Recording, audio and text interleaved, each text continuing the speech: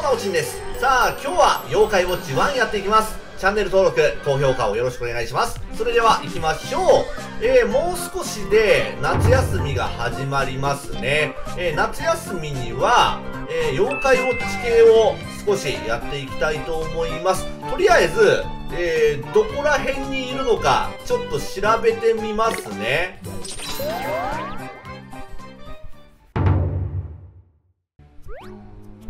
ここにいるんかい あ、そっか。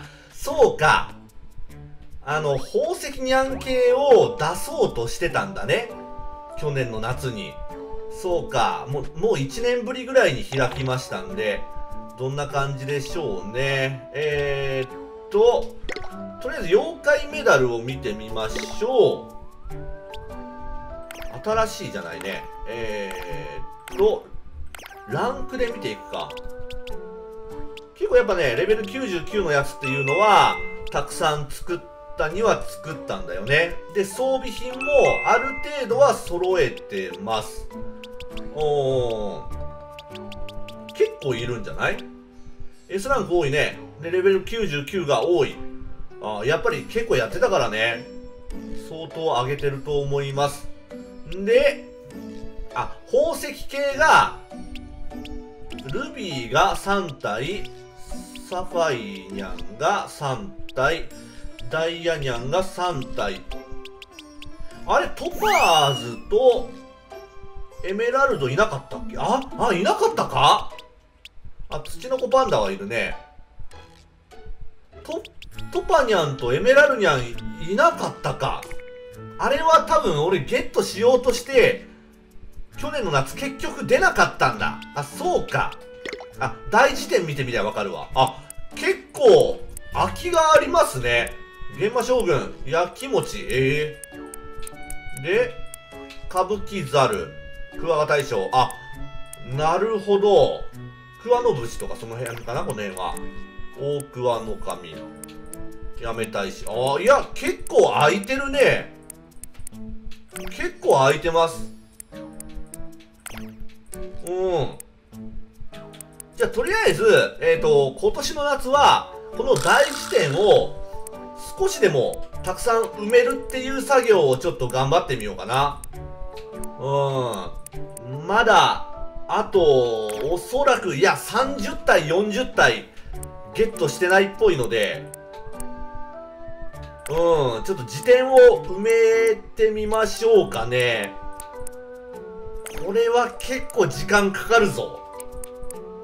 あー、なんかめんどくさいやつが多い気がする。めんどくさいのが多い気がするよ。はいはいはいはい。レジェンドは、あ、山吹鬼がまだだな。あー、山吹がいない。で、あ、で、ほんとだ。宝石ニャン系のトパニャンとサファイニャン。仲間になってませんね。サファイニャン強いんだよね。その2体も出さなきゃいけないか。いやー、結構これは、時間が かかりそうだけども、そうね、夏休みの1ヶ月ちょっとの間で、この妖怪大辞典、えー、全部埋めれるように頑張っていきたいと思います。いや難しいでしょ。うーん、山吹がちょっといけるかな山吹鬼が、いけるかわかんないですけどね。あと何体だ？あと2体だ。あと2体。あと2体ですね。だったらいけるか。このガチャゲンっていうのがね、なかなか難しいんですけども、まあ、毎日アークを読み込ませていけば、まあ、5つ星コインとか出てくるんで、うーん、いけなくもないのかな。いやにしても難しいぞ、これは。はい。ま、とりあえず今日はちょっとね、データをちらっと覗いてみましたけども、え、去年の夏から、えー、1年ぶりぐらいに触りました。やり残してることが結構あるね。うーん、妖怪がおそらく残り50体ぐらい仲間にしないと埋まりませんし、えー、その中にはガチャゲンで出てくる山吹鬼も入ってます。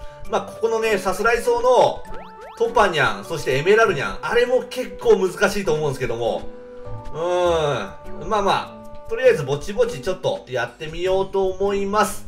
はい。ということで、今日は、えー、夏休みにやる妖怪ウォッチ1の告知でした。えー、ぜひ見に来てくださいね。それでは、よろしくお願いします。ありがとうございました。